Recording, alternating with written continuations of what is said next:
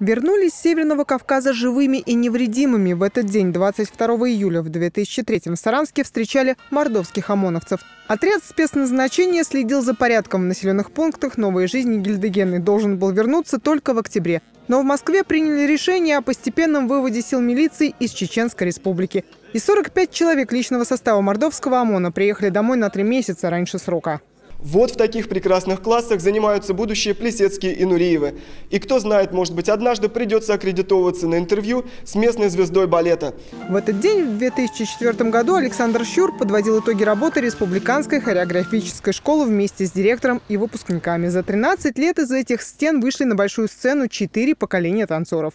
Еще через год Александр Аносов в этот день совершил путешествие из Рузаевки в Красный узел на электричке. И вместе с ревизором ловил безбилетников. Пока молодая девушка покупала билет в вагоне у кассира, соседи по вагону вспоминали заячью юность. Я не, не часто ездию, я не часто ездию. Месяц раз приезжаю.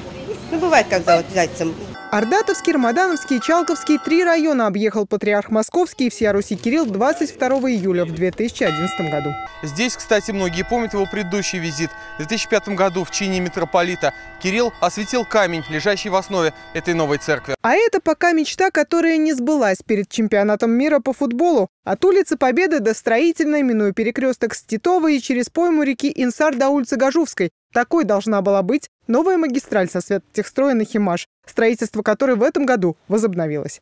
Таким было 22 июля разных лет. Алена Москалева, Наш новость.